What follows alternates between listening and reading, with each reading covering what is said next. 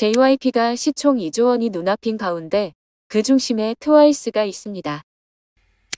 트와이스를 광고 모델로 발탁한 기업세곡과 JYP의 실적을 함께 보시죠. 첫 번째는 한국 닌텐도입니다. 연매출부터 보시죠. 모든 표기 단위는 억 원입니다. 다음은 영업이익과 함께 보시죠.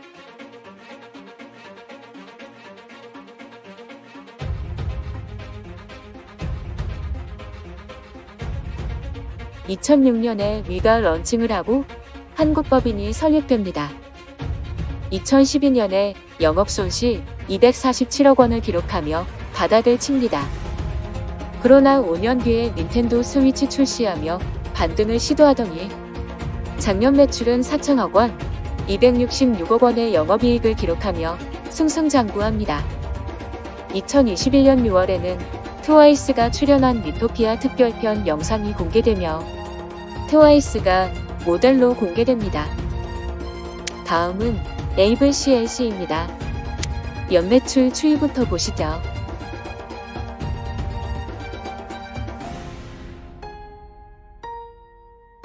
영업이익과 함께 보시죠.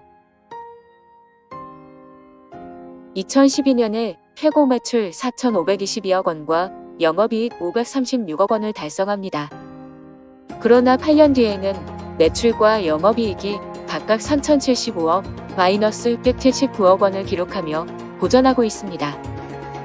드디어 2021년 3월에 사나와 다현을 머퓨 브랜드 모델로 발탁하며 국내 매출 점유율을 다시 끌어올리고 일본 매출을 부스트업 하려 하고 있습니다. 다음은 JYP입니다. 연매출부터 보시죠.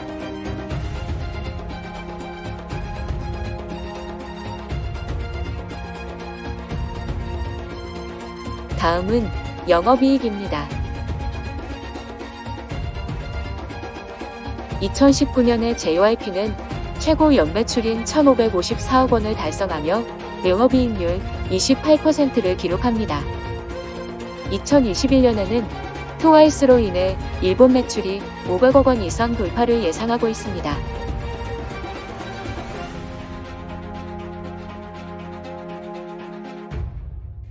마지막 기업은 경남제약입니다.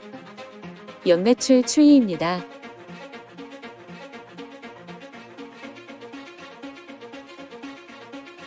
이어서 영업이익 추이입니다.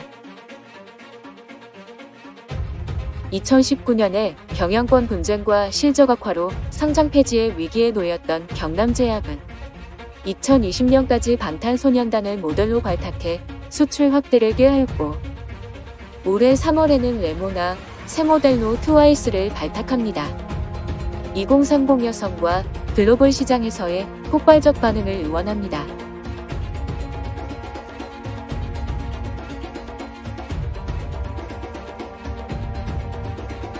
마지막으로 4개 회사 매출을 한꺼번에 보시죠.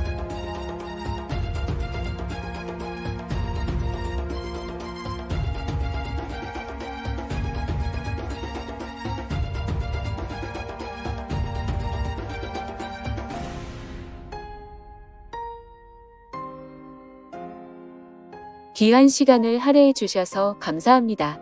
구독과 좋아요는 큰 힘이 됩니다.